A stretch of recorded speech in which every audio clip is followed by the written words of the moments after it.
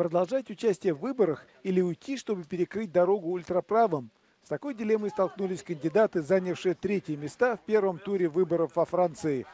В северном городе Туркуэн левый кандидат от Нового народного фронта сошла с дистанцией, чтобы дать больше шансов стороннику Эммануэля Макрона и министру внутренних дел Жеральду Дарманену.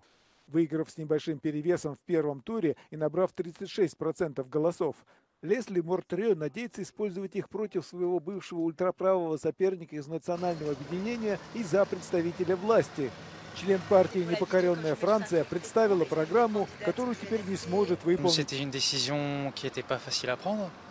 C'est une décision qui a pris du temps aussi. Euh, J'étais pas sûr de la prendre jusque très longtemps. Il faut reconnaître que Gérald Darmanin, c'est pas un macroniste comme les autres.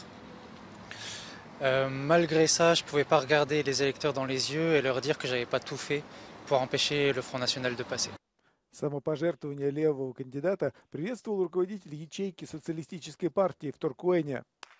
C'est une annonce cohérente qui est en rapport avec euh, les recommandations nationales, mais aussi qui est en rapport avec euh, les convictions de, de l'électorat de gauche, qui a toujours dans son histoire euh, fait barrage au Rassemblement national.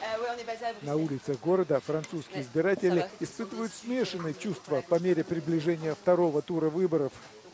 Ça veut dire s'ils se maintiennent, c'est certain, c'est le Front National qui va passer. Alors vaut mieux essayer de donner la voix à Darmanin.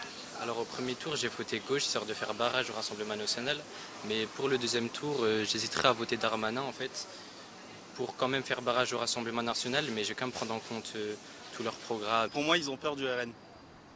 Ils ont peur et ils veulent se défendre et dans tous les cas, ils n'y arriveront, ils y arriveront pas. La majorité, la majorité l'emportera.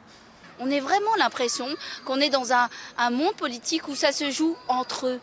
Et que en fait, nous, on a l'impression d'être en dehors du jeu. Vous voyez ce que je veux dire On a posé à qui la question de savoir si ces arrangements politiques, ils étaient bons.